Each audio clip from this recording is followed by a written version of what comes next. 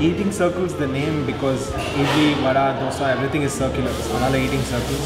Um, eating circle basically sty- uh, serves Karnataka style food in uh, in the most authentic way, I'd say. And uh, so we have our live counters, and everything can be seen the way dosa is being made, the way everything is getting served, what is being added to the dosa, the cleanliness, the freshness, everything can be seen personally by every customer.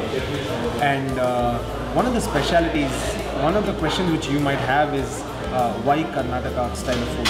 One of the specialities of Karnataka style of food is a lot of people like crisp dosas, a lot of people like soft dosas. With Karnataka style food, the dosas are crisp on one side and soft on the other. Right from the color to everything, you just have a distinct differentiation to the regular food. Their sambar, their sambar is made, uh, there's a huge jaggery content in the sambar. So the sambar is a little on the sweeter side. So what we've done to ensure we serve the entire customer market segment is we have a Chennai sambar and we have a Karnataka sambar. I know a lot of people have more than one variety of chutney, but because we wanted to retain the authenticity, we decided to have a Chennai sambar and a Karnataka sambar so that the, all sorts of customers get satisfied. Um, our idlis, we have uh, the regular sambar idlis, which is got a lot of codes. So when the sambar is poured, it goes right in, and we also have a ghee tat idli.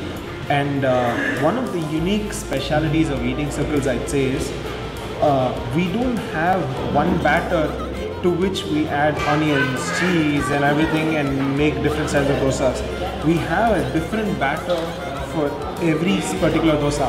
Our red rice dosa is the batter is completely different from our special butter dosa.